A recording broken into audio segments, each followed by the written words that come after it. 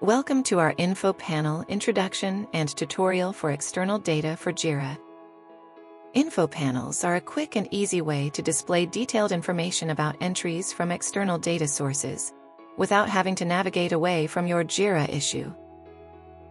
Our today's use case will be to set up and configure an info panel to display detailed user information in our JIRA issue after performing a user search.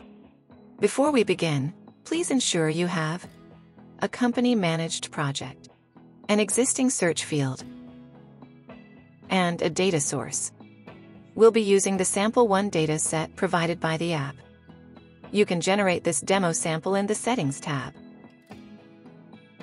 Now, let's start with the setup by adding a new field configuration.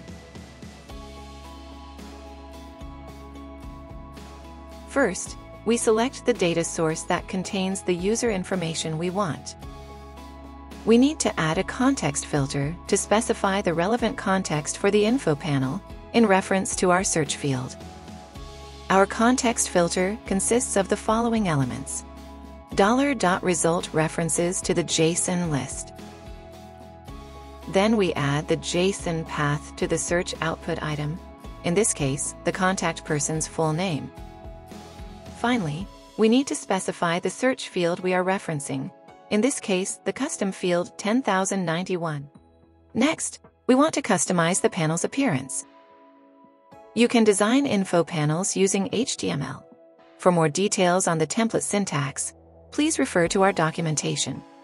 You can format the panel according to your preferences. In our example, we want to include the fields ID, email, phone number, as well as an avatar picture of the user from our data source.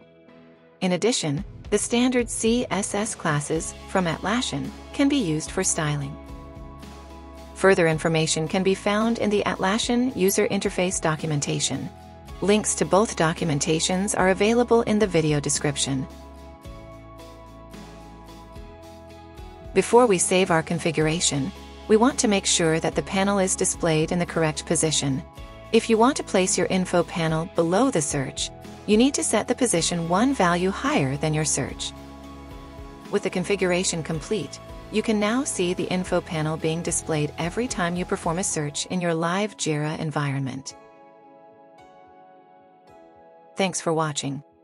For more information, check out our documentation, which is linked in the description. If you liked this tutorial, Please give it a thumbs up and subscribe to our YouTube channel if you want to get more updates and tutorials in the future.